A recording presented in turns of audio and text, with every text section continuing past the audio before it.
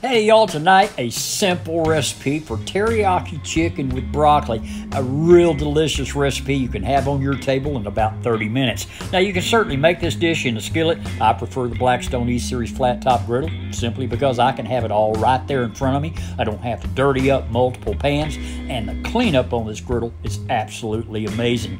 So I want to preheat the griddle on 400 and after that I want to throw down some butter for flavor. Butter will burn at 400 degrees but to keep that from happening, I'm also going to add a little cooking oil. All right, now once that heats up, I want to add my chicken that I've cut up into bite-sized pieces. I also want to add my broccoli at the same time. Season both with a blend of salt, coarse black pepper, and garlic powder.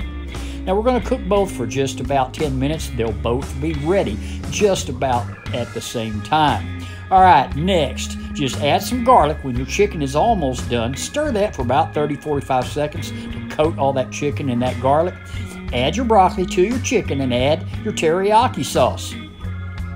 Give that a toss to make sure it's well coated. Then add in cold rice. You want cold rice, not hot rice. If you put hot rice on this hot griddle, it's going to turn to mush. So make sure your rice is really cold.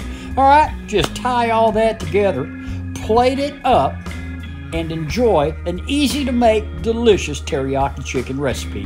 Thanks so much for stopping by. Leave a comment, I'll answer every one of you. But until next time, as always, bye bye, y'all.